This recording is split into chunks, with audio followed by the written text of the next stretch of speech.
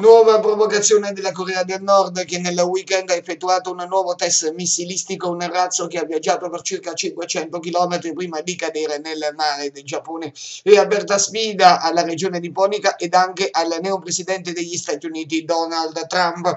Intollerabile provocazione ha commentato il premier Az, mentre il ticon americano ha detto voglio che tutti capiscano che gli Stati Uniti sono al 100% al bianco del Giappone un grande alleato.